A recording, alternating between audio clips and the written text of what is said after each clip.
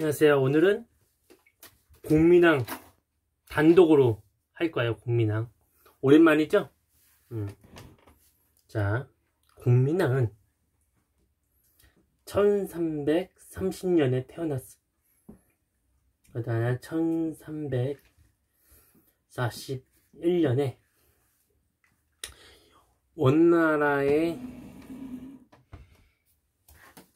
그 입김이 좀 아직 세서 원나라에 입조를 건너러 가서 원나라에 그다 1344년에 강릉대군으로 봉해졌다고 저번에 잠시 말했죠? 강릉대군으로 봉해졌고 1349년에 드디어 20살이 돼서 20살이 20살이 된 공민왕 왕전은 위왕의 딸인 누국대장 공주와 혼인을 하게 돼.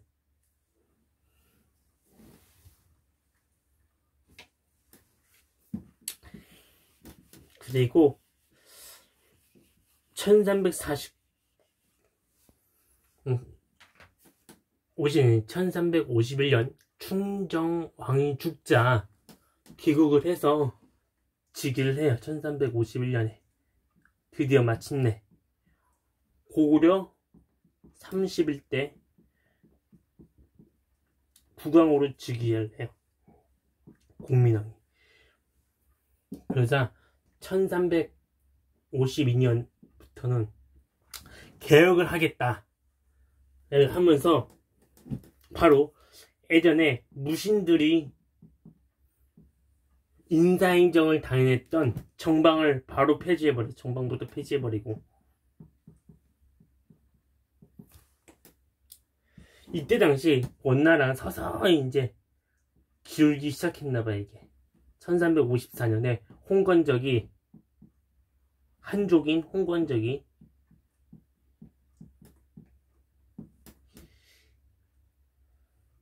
살짝 그 틈이 벌어진 그 힘의 원나라의 그 국세 정세 국세 국세가 약간 흔들림을 보고 쳐들어갔나 봐요. 이제 스파이를 통해서 그래가지고 이제 틈이 벌어진 틈을 타서 들어갔고 어떻게 돼? 원나라가 휘청하는 원나라 몸살 경영 혼건적인 침입으로 그러니까 아우 고려보고 가, 응? 자기의 그거 나라 어? 부마국인 고려한테 지원 요청을 해서 오케이 오케이 오케이 오케이 가요. 왜냐면 우리도 원나라 한편으로 원나라를 도우면서 한편으로 이제 그 상태를 파악 사태 파악을 위해서 이제 일단은 지원을 오케이 했죠. 원나라가 힘이 없어진 거를 이제 그렇게 되면 국민한테 보고를 하니까 아 이제 개혁을 더 추진해야겠다 해가지고 마침내 1300 개혁 준비를 1356년에 드디어 기양후에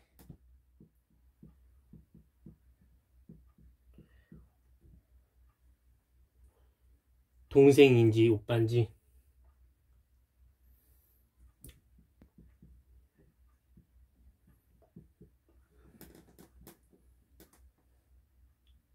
오빠 또는 남동생인 기철. 형제. 형제인 기철 등 원나라. 에 그거 하다 오는 검은 세력들을 다 숙청하고. 그리고 뭐 이문소도 폐지하고 뭐 원나라 관계된 거죠. 정확히 기억은 잘 안 나는데. 그리고 쌍성 총관부도 탈환. 총관부도 탈환. 북쪽에 있던 거. 그리고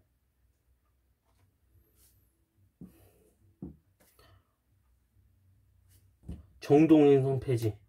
정동행성 폐지. 많이 들어봤죠 다? 광동해성 폐지 이렇게 있었어. 그리고 1358년에는 우리나라에도 왜구들이 막 쳐들어왔어. 왜구들이 왜구들이 쳐들어왔는데 최영등이 다 붙질렀어. 왜구들. 최영. 드디어 최영도 등장해. 최영도. 1358년. 그러다가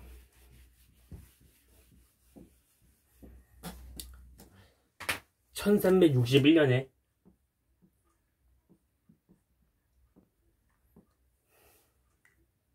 아니 59년에 먼저 터들어 59년에. 그 다음 58년에는 외국어 쳐들어왔는데 59년에는 홍건적이 우리나라에도 쳐들어. 홍건적이 친임. 신임을 했는데 최영이 또 막아내. 최영 최영의 그 군사들이 홍건적을 상암 한명 만나 그 외국 홍건적들 다 몰살시켜. 그러다가 또 군대 모아서 중 61년에 또 쳐들어와. 근데 최영과 이성계의 조합으로 게이 조합으로 또 몰아내. 대단하죠? 그 다음 1363년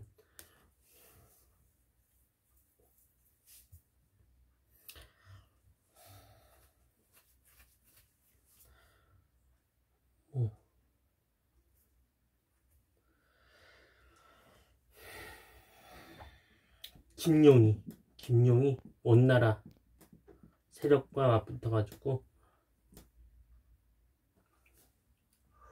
원나 힘이 약해진 원나라를 배신하고 자주 개혁 반원 자주 개혁을 쓴 공민왕을 시하기 위해 수작을 하다가 최영에게 진압돼서 끝나고 1365년에 결국.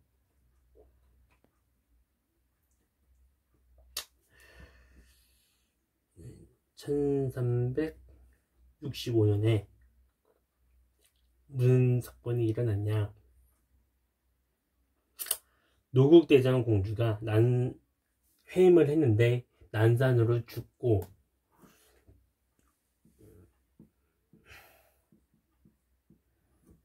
을사 환국을 통해서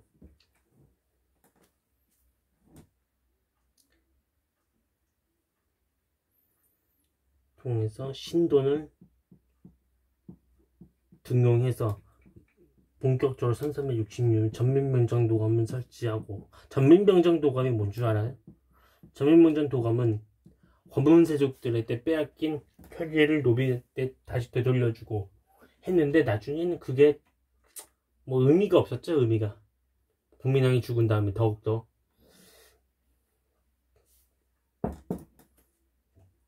그리고 성중관도 재설치하고 성중관도 재설치하고. 그래서 1371년에는 하도 이제 귀족들의 반발과 여러 가지 있은 이유로 신돈마저도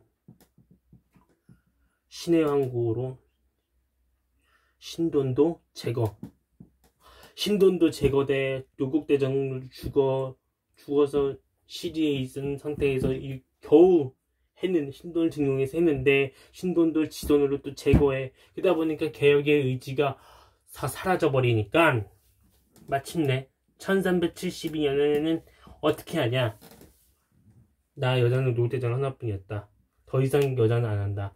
대신에 술과 뭘 하냐 남색을 줘 남색을 남색을 그 우리 파란색 빨주노 초 파남보 그 남색이 아니고 남자 남자들을 이쁘고 잘생긴 남자들을 등용해서 자기 정치나 뭐 이런 거에 좌우 시중 드는데 했고 뭐 아마 홍 그 자제 중에서는 가장 우두마리가 홍눈인데 홍눈하고도 무슨 아마 관계를 가졌을 거예요. 그리고 홍눈은 심지어 공민왕의 후궁인 누구야? 공민왕의 후궁의 윗비 윗비하고 윗비하고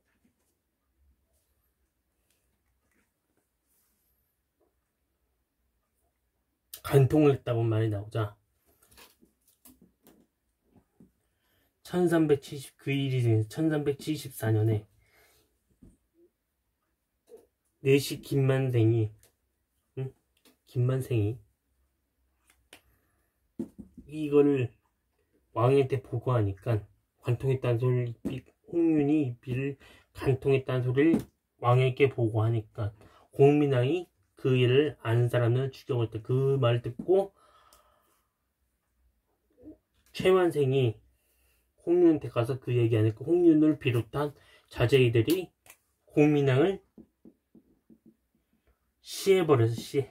그러면서 공민왕의 일생이 일대기가 끝났어 공민왕이 시대물로서 일생이 끝난 거 공민왕이 그리고 그 이후로 어떻게 됐냐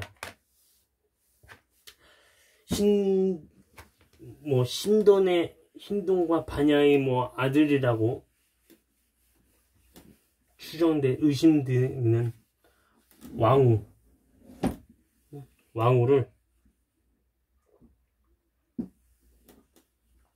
왕위에 이님이 앉힌 거예요. 그리고 이님이